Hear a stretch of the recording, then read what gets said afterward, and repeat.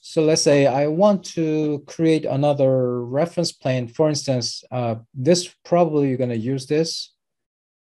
So I want to hmm, make another plane. Let's say that is parallel to this one, but offset. Okay.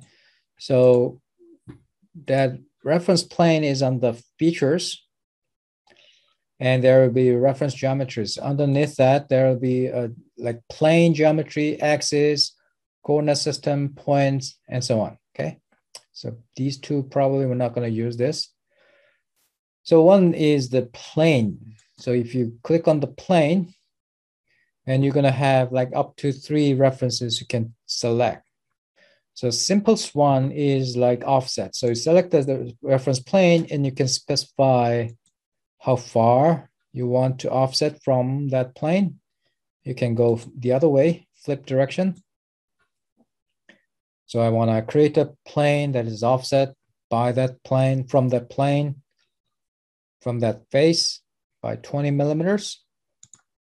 And you got the plane, okay? So this plane is same as this X, Y, Y, Z, Z, X plane. These are all reference geometric planes that is defined uh, by default in the template.